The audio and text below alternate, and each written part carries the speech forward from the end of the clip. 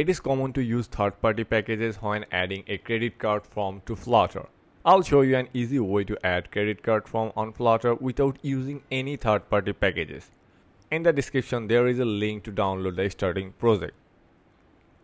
The assets directory contains images and icons and constant dot dot provide a primary color and default padding. The add new card screen widget is a stateful widget that returns a scaffold. The screen is fairly straightforward with few text field and two buttons. The first step is to set the background color white, add a bar, set the title, also add a form under the body.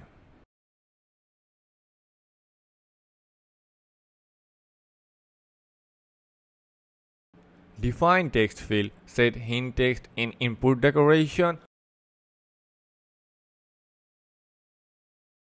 To get free space on both sides, wrap the body column with a padding widget and set the horizontal padding to default padding.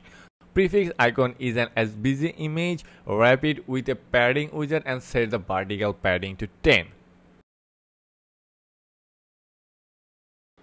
By default, the keyboard type is normal. Set the keyboard type to number. Now it shows number pad. Filtering text input formatter will only allow numbers in the field. Length limiting text input formatter prevents the insertion of more character than allowed. You will notice there is a space after 4 digits on the card number. Here is how we can do that. Create a class called card number input formatter and extend it with input formatter. Now create the missing formatter. The new value will be returned if base offset is 0. Otherwise create two variables input data that are new value text and buffer an instance of string buffer.